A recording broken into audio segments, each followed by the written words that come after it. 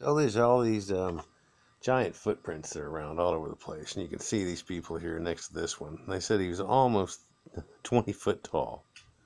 Okay, and this is supposedly the house that he lived in, and that he could have that he put in this rafter here at the top, and you can maybe see the size of the person that's right here. That if you put him at 18 foot, he'd be about this tall, and then you'd have to put that in. This is the interior of that same area. This is not the same area. This is like the giant circle, I think, that's found on the side of the Sea of Galilee. And it's uh, like the size of Stonehenge, but it's supposedly made by giants. The same can be said about Glastonbury.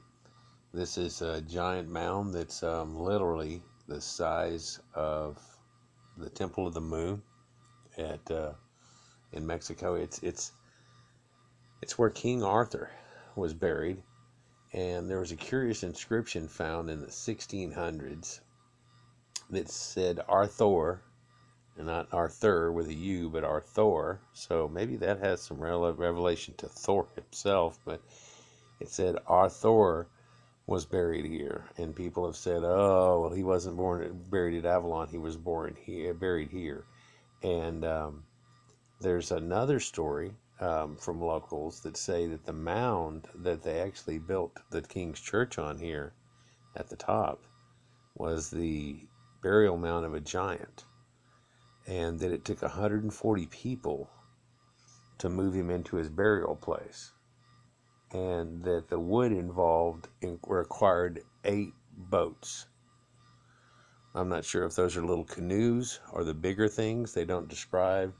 They don't describe what the 140 people do. They say that a giant's buried there. That it took 140 people and eight boats worth of stuff, I guess, to make his burial chamber. Whether that's the chamber in a coffin or what, but huge. This mound is like 260 foot tall, something like that, but the circumference of it is giant. It's almost the size of the Great Pyramid.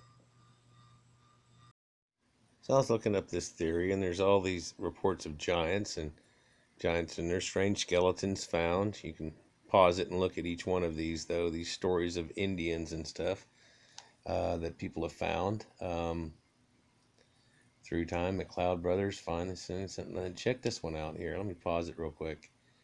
Knightstown, Indiana. Skeleton is more than seven feet in length, and the skull has horns about an inch and a half long, projecting upward from the point just behind the ears. Several similar skeletons have been found here in the past few weeks. All peculiar bones were found in gravel. They have these bones that they found a race of giants and stuff that apparently lived in North America now they used to collect these all the time over in uh, in Europe and stuff, and they would uh, parade them around in um, some of the churches and say that they were actually the bones of a giant from the Nephilim, or that they were a bone uh, up in Roman times. There, there's many accounts. I can find them for you where they talk about in the churches of having bones of these giants that used to be warriors of men of renown that they would actually have in their um, and they got rid of these things at the start of the dark ages. And uh, a lot of them were figured out later to have probably have been dinosaur bones. But then again you look at something like this and it makes you wonder um, there's a scale portrait of this one bone that did not get taken by the smithsonian and there you go right there. It's a giant femur. So giants you know. Goliath people like that.